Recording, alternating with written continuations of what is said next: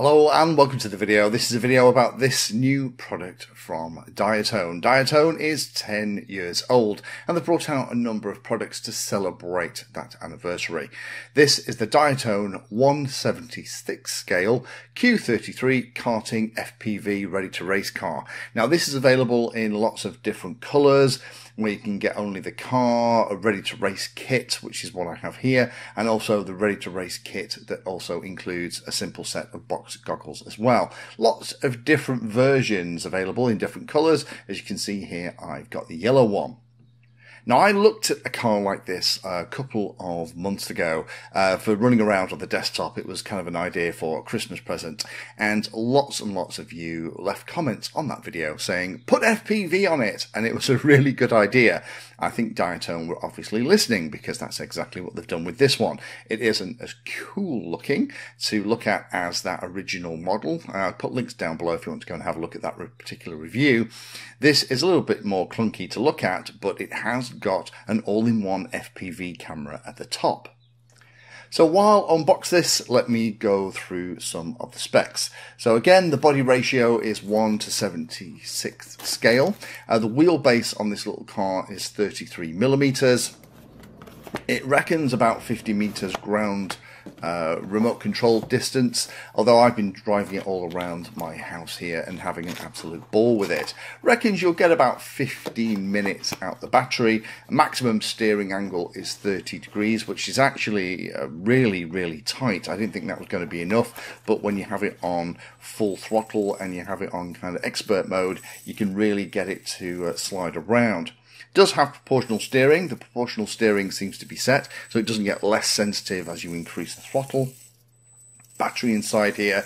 I'm not sure what the battery is because it says it's 3.7 volts, 110 milliamp hours in the specs, but then further down it says it's slightly bigger, but that's kind of irrelevant. Just know that you're going to get about 12 to 15 minutes of running around.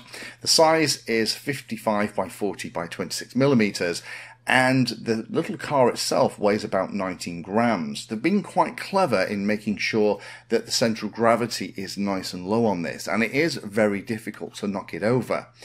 They're calling it a karting car in some of the documentation, and in other things, they're saying it's kind of uh, off road. I definitely wouldn't call it uh, an off-road car. It says it's got off-road style because it has the uh, high chassis and you know the chunky wheels, but actually I found that anything over three or four millimeters high will absolutely ground this out. So even on a thick carpet, it can get into trouble. FPV the FPV module that is on the FPV version, uh, the power of it is 25 milliwatts, little linear antenna, and it only has four channels. Now they seem to line up to band A, I think it's 1, 3, 5, and 7 but actually it's very close to some of the Fat Shark bands, and that's what I've been running them on here. Uh, it powers on automatically when you power the car on, so it's pretty easy to get up and working. If you have any kind of goggles that have kind of an auto search feature, you'll find it pretty easily.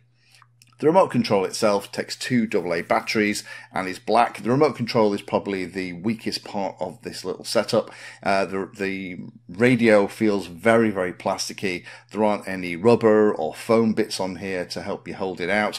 Um, I guess that's how they've kept the cost down. It works absolutely fine, but I would have preferred something a little bit nicer with easiest access trims for steerings and things like that. In terms of driving, it is fantastic fun. Uh, the camera works surprisingly well for something like this, and running around in both indoor environments and also outdoors as well when the ground is very flat is a lot of fun. You can really get a kind of a mouse eye view of wherever it is you are. But it also has a tight enough turning circle that you can run it around on your tabletop. The reversing seems a little bit clunky. You kind of almost have to come to a full stop before you can start reversing. So compared to some of the other tabletop cars that I played with, it isn't as smooth from the controller, but once you put the FPV goggles on, that slightly finicky steering at high speed just seems to go away and it becomes absolute blast to run around.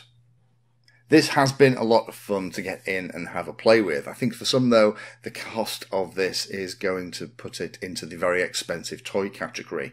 I do like the fact that you get a spare shell that you can customize in this. I think for children that would be an awful lot of fun. If you've got Sharpie pens, you could absolutely go to town colouring that in and putting stickers on it and having a lot of fun. Nice to have options for the car with and without the FPV stuff, the controller and the goggles for those who already have those pieces. I found that my Fat Shark goggles with it worked really nicely. Nice weight to the model as well, and that low central gravity means that I have not yet managed to get it flipped over unless someone actually kicked it with their foot. And that 19 grams gives it quite a solid feel as well. The radio itself has two driving modes. It has a basic one where it limits the throttle to I think something like 60%, and then you can turn that off and go full tilt.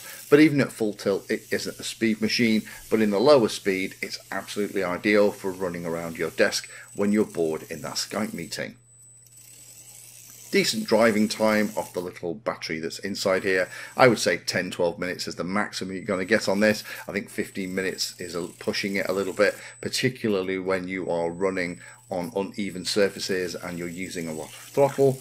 it's just very fun, and the steering, although it is sensitive, does work well when you switch to FPV couple of things to be aware of this. There's only four channels on the video transmitter that's in it, uh, and the power level is set at 25 milliwatts, but all those are band uh, A. Uh, so if you don't have band A on your goggles, it's not a problem. There are bands and channels on the Fat Shark band, which lots of us have, uh, that allow you to see the image really nicely.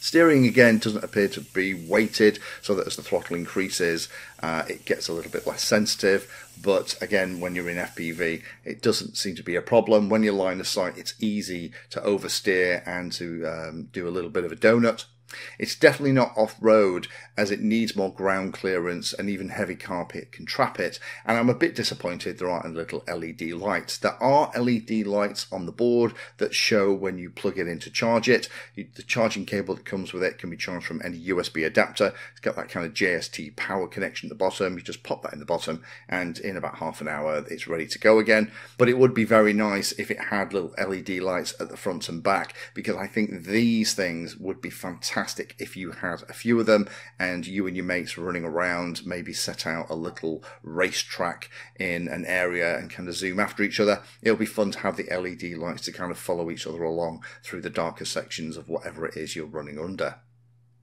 And also that battery isn't interchangeable. So once it is flat, unfortunately, that's the end of the fun. You have to stick it back on charge and go make yourself a drink while you wait for it to charge up again. Uh, I guess that's just to keep the size down. Everything is kind of soldered in. As I mentioned, the controller feels super basic. It works fine, and uh, you know what? I've not really noticed it once I got over the initial disappointment of it being so plasticky. But having some form of foam or rubber on the grips would have been really nice. And watch out for that large antenna at the top. You can get stuck in places that you think you can get under because the antenna will get caught. I've had to go fishing for this under sofas and all kinds of things because I thought I could get under there because from the view that I'm getting from the camera, it looked like I could make it, but I actually couldn't. In summary, this is a very cool, fun toy to play with. From lots and lots of people, it will be far too expensive for a toy grade model like this. Uh, the camera in particular has been a very nice surprise. The camera itself and the little FPV setup on the top works incredibly well. I wonder if Diatone are going to bring these kind of pods out to enable us to put FPV on lots of other things as well. That would be something that I'd really like because some of the other all-in-one units that I've had, things like the VC400 from ZOHD, the camera on those is pretty bad. But if you have been looking for a little FPV car to run around to annoy the cat and the dog and to uh, keep yourself entertained in those Zoom calls, this is definitely worth a look. And happy birthday, Diatone. Thank you for spending your time today watching that video. You can find me in all the usual places on social media. And if you're trying to learn about a subject, then check out the playlist. All of my videos are organized into easy to follow playlists that if you're trying to learn a topic will take you from the basics right the way through to some pretty advanced stuff.